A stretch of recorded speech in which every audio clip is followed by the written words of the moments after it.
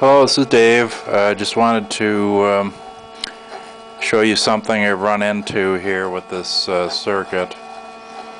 Um, you got 20 LEDs in series on the uh, project board and I'm, I've got the voltmeter uh, hooked up across this coil, degaussing coil.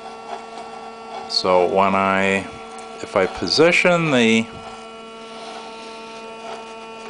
coil just right, I can light up the uh, 20 LEDs. I'm developing about, what is it, about between 35 and 40 volts on the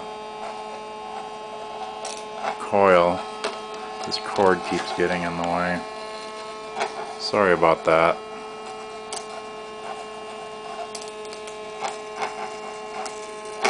The position of the coil becomes very critical in order to light the LEDs. It's, it's difficult.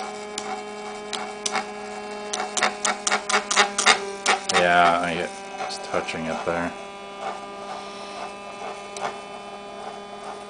I don't know if you can see both at the same time here. It's really hard to do with one hand. And then you see the uh, the voltage there. It's on an AC scale, so imagine it's a pulsed uh, DC.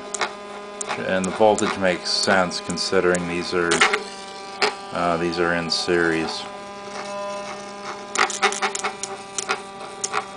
Just thought you'd like to see that. Something, uh, someone with a better uh, harvesting coil might be able to have a little better luck here.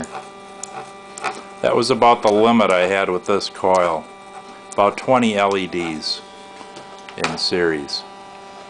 That's it. Thanks for watching.